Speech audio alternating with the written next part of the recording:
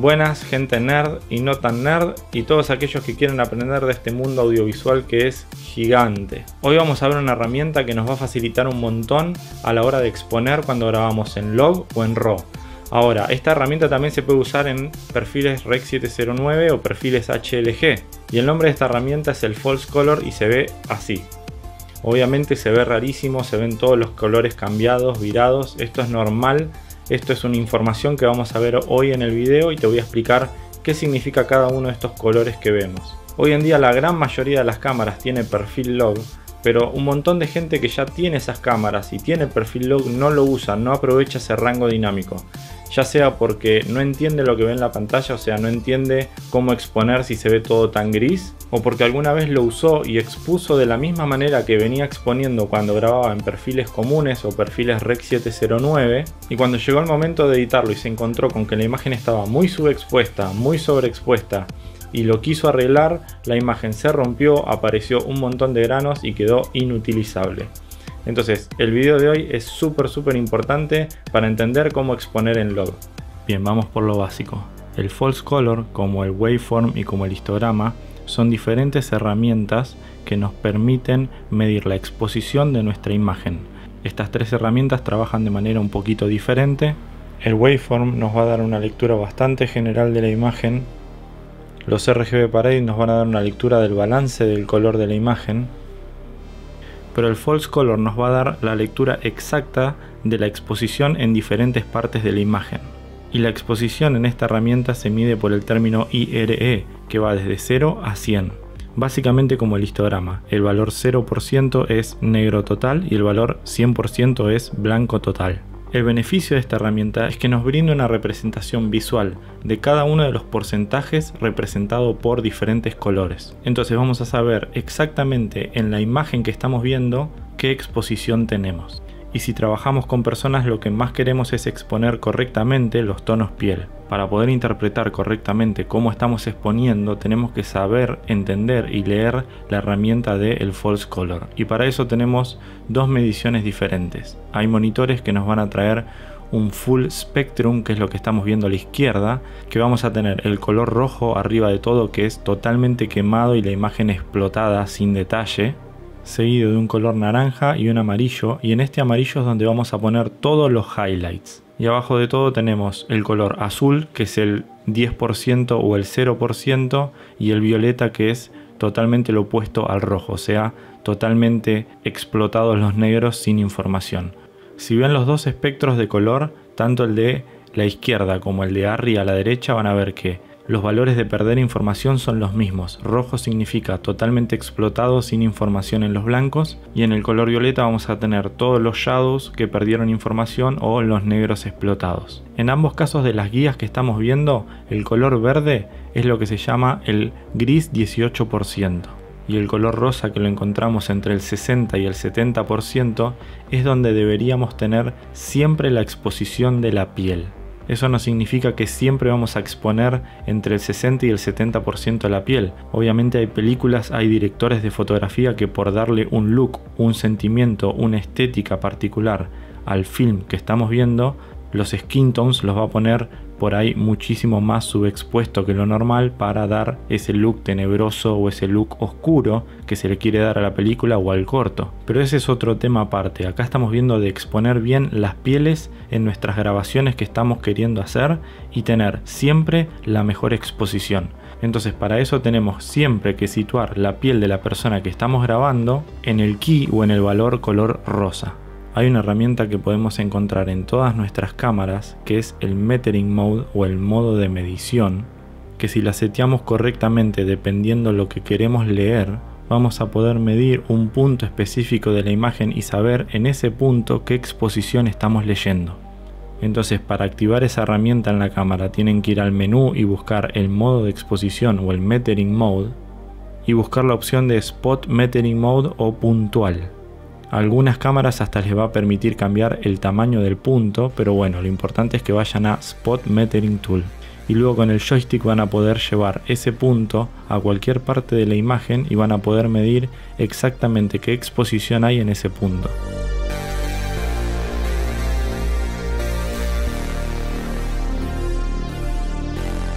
Hay algunas cámaras que no nos van a dejar medir o cambiar el punto de exposición en diferentes zonas de la imagen. Como sabemos que el spot metering siempre está en el centro, vamos a llevar ese punto a diferentes partes de la imagen con diferentes exposiciones y vamos a ver los valores de abajo cómo van cambiando dependiendo la lectura que toma de esa zona. Más 2, 0, más 1, menos 2. Eso es la lectura de la exposición que estamos leyendo en ese punto.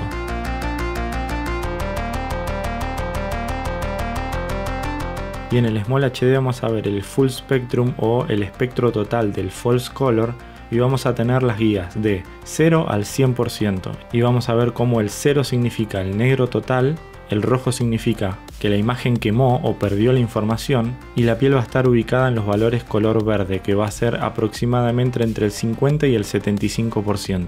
Si tenemos la piel en este rango significa que estamos exponiendo bien la piel y si subimos la exposición de la imagen vamos a ver que nos vamos a acercar a los valores amarillos, naranjas y rojos significando que vamos a perder un montón de información del color o del rango piel cuando hagamos el color grading. Y algunos monitores también nos van a permitir medir la información de la imagen con el espectro de color de el false color de ARRI, que son los valores que tenemos en el gráfico de la derecha. Es mucho más simple de leer. Acá lo que vamos a ver es que el violeta es el negro explotado, el azul es donde tendríamos que tener los shadows o las partes oscuras para retener información. Los rojos nuevamente son los blancos clipeados donde perdemos la información en los highlights. El rango amarillo es donde deberíamos poner los highlights para tener información y no clipear. Y después vamos a tener solo dos parámetros en el medio. El verde, que es el middle gray en 18%, y el rosa. Entonces esto nos va a servir para poder exponer la piel de manera perfecta y tener la parte oscura de la piel o la parte no tan brillante en los rangos verdes y la parte que está iluminada de la piel o la parte que recibe más luz en la parte rosa. Como podemos ver ahora, los monitores Small HD nos permiten cambiar el estilo del espectro. Podemos cambiar del espectro total de color a la lectura de ARRI, y van a ver que si estamos medianamente expuestos vamos a tener solo la información gris, verde y rosa. Vamos a tener el verde situado sobre la parte oscura de la cara y el rosa sobre los highlights o sobre la parte más iluminada de la cara. Y si utilizamos el LUT que les voy a dejar en la descripción de este video para poder chequearlo en nuestros programas de edición, lo vamos a ver algo así. La parte rosa en la parte de los highlights de la piel y la parte verde en la parte de los shadows o de la sombra de la piel. En este ejemplo que vamos a ver acá vamos a ver diferentes exposiciones de menos 3 stops de luz a más 4 stops de luz y vamos a ver cómo exponiendo de esta manera afecta la imagen cuando vamos a llegar al momento de hacer corrección de color en postproducción. Porque muchas veces podemos exponer a la piel, pero si tenemos partes muy oscuras de la imagen, cuando querramos hacer la corrección de color, eso va a introducir muchísimo ruido. Entonces quédense hasta el final porque vamos a hablar de diferentes formas que vamos a poder exponer en log para diferentes situaciones que tengamos, ya sea con personas o donde tengamos que tener un balance entre exponer bien a la piel, pero también retener la mayor información posible en las sombras o en los shadows sin tener grano.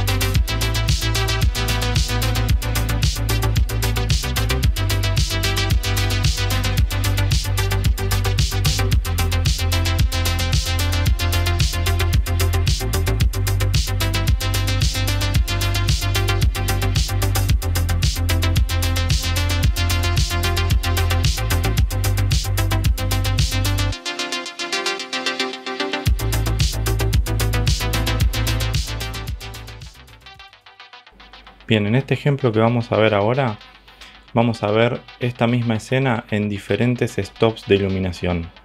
En 0, en más 2, en más 3 y en menos 2. Esto que ven acá, este salto de imagen con esta curva chata, corresponde a esto. Y esta imagen acá como que está todo clipeado blanco sin información justamente corresponde a el texto que yo le puse arriba de la imagen. Para exponer esta escena lo que hice fue poner la cámara en spot metering, llevar el punto de medición a la frente de la persona, exactamente acá, y eso me midió un 0%. Y eso lo podemos ver agregando una máscara de opacidad en la piel y vamos a ver que la piel de la persona está en los valores del 40% y el 50% del waveform. Si yo subo la exposición van a ver cómo eso se altera y si yo bajo va para abajo obviamente. Vamos a dejarlo en cero. ¿sí?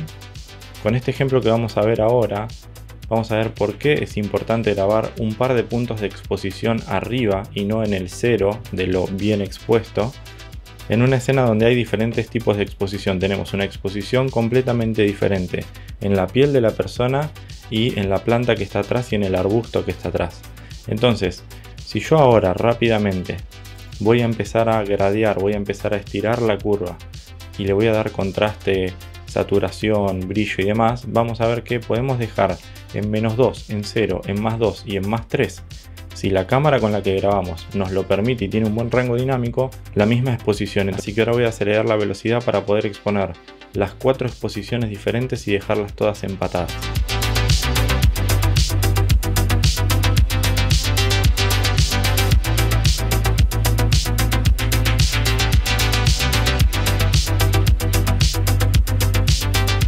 Bien, como pueden ver, dejé menos 2 de exposición, o sea, dos puntos de exposición abajo, 0, más 2 y más 3, todo súper empatado. Vamos a verlo rapidito para ver cómo quedó y van a ver que están todas empatadas.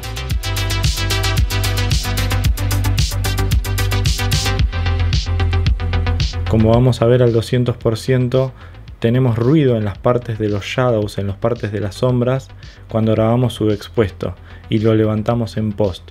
Por eso lo ideal siempre es grabar a más 1 o más 2 de exposición arriba. En este ejemplo tenemos una situación de iluminación donde el sujeto está bien iluminado, pero el resto de la escena está muy subexpuesto. Tenemos diferentes valores de exposición. Entonces vamos a ver cómo está desde menos 3 hasta más 4. Vale aclarar que esto fue grabado en log y le estoy aplicando un LUT de corrección de log a Rec 709. Así se veía en cámara y así se ve una vez que le aplicamos el LUT. Vamos a verlo en velocidad rápida.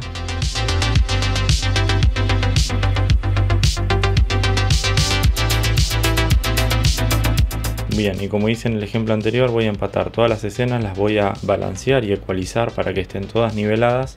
Y vamos a ver qué pasa cuando grabamos subexpuesto o en cero en las partes donde hay sombras, donde hay shadows. Y qué pasa cuando grabamos por arriba, es decir, un punto arriba o dos puntos arriba, como no vamos a tener tantos granos, tanto ruido en la parte de los shadows.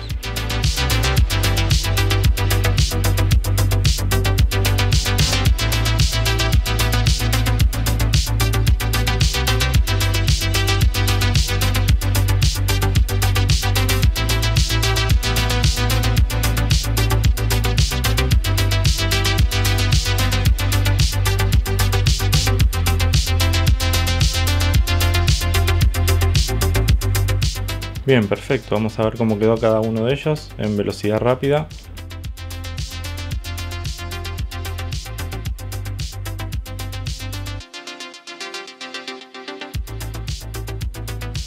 Bien, para los que están preguntando con qué cámara se grabó esto, esto fue con mi cámara de preferencia, la Panasonic S1.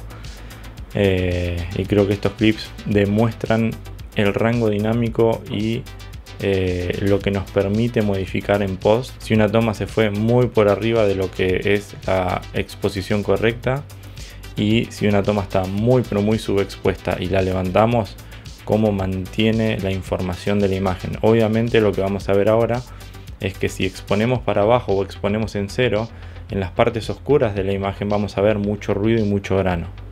Como pueden ver en este ejemplo de esta situación que está súper subexpuesta en el fondo desde menos 3 hasta 0 vamos a tener ruido, grano en la imagen y recién en más 1 vamos a tener la imagen súper limpia.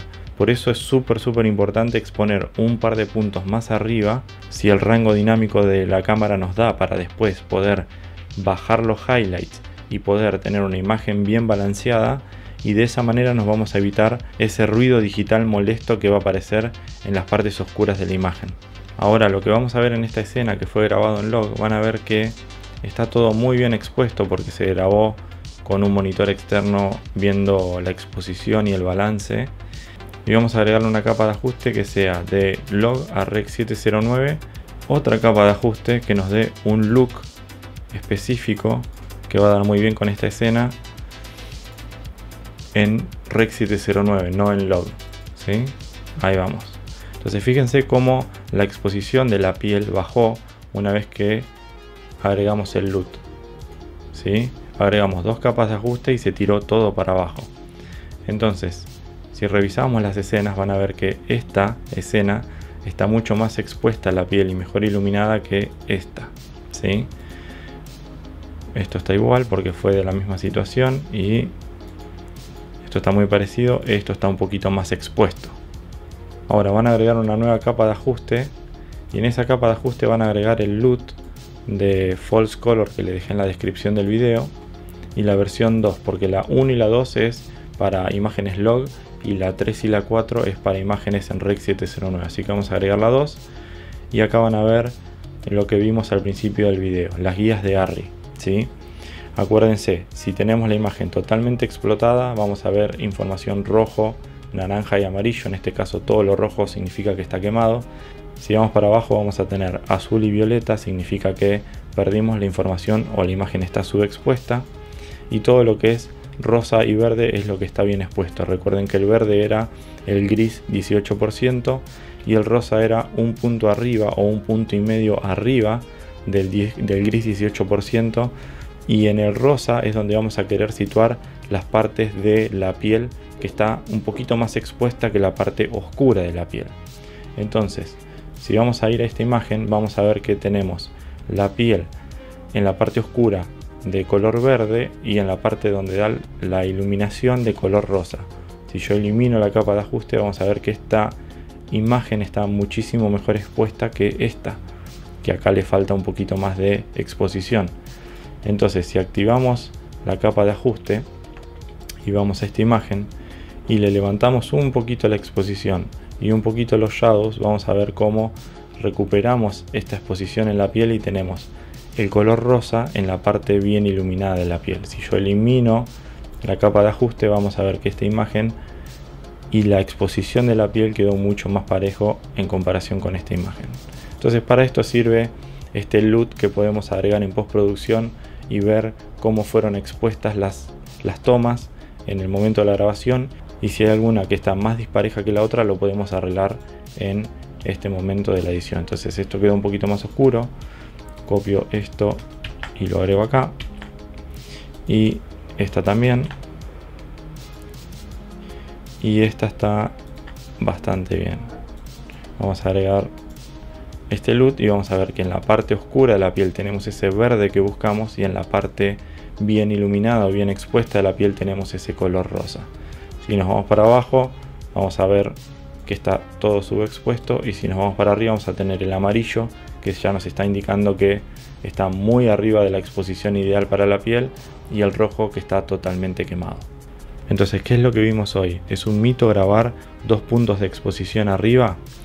No, cuando tenemos una escena donde tiene diferentes puntos de exposición y en postproducción vamos a hacerle corrección de color, si nosotros grabamos dos puntos arriba, vamos a evitar introducir ruido indeseado en las partes oscuras de la imagen o en los shadows. Lo que tenemos que tener cuidado, ya sea que grabemos con un monitor o grabemos con la pantalla de la imagen, es que si grabamos dos puntos de exposición arriba, no tenemos que clipear o no tenemos que quemar los highlights, porque si los llegamos a quemar, vamos a ver que cuando querramos hacer la corrección de color, por más que bajemos el dial de los highlights y la exposición, esa parte o esa información no la vamos a recuperar. Entonces, tenemos que grabar un punto o dos puntos arriba, pero dependiendo del rango dinámico de la cámara, tenemos que tener cuidado de no llegar a quemar, porque no es solo grabar dos puntos de exposición arriba y listo, después lo arreglo en post. Si llegamos a quemar con este tipo de cámaras, quemamos y no recuperamos más la información. Ahora, cuando tenemos escenas como la que estamos viendo ahora, donde la exposición está bien balanceada y el DF iluminó de manera muy correcta y muy parejo todo, lo que nos importa es balancear a la piel de la persona. Porque si nosotros balanceamos como las guías que vimos de Harry entre el color verde y el color rosa, vamos a tener la mejor exposición para la piel.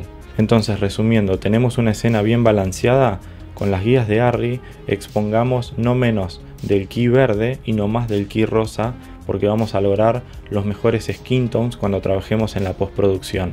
Y si tenemos una escena, como vimos al principio del video, donde hay exposiciones diferentes o partes muy oscuras o muy iluminadas, tratemos de exponer entre un punto y medio y dos sin llegar a quemar para que cuando lleguemos a hacer el color no introduzcamos tanto grano o tanto ruido en la imagen. Bueno, espero que les haya gustado este video, fue un poquito técnico, un poquito nerd, pero por lo menos vimos todas las herramientas de todas las formas, desde un monitor hasta cómo aplicar un LUT dentro de Premiere para empatar las cámaras. Como siempre digo, si les quedó alguna duda, alguna consulta sobre lo que vimos hoy, déjenlo en los comentarios que siempre estoy contestando. Nos despedimos en False Color y nos estamos viendo en un próximo video. Chao.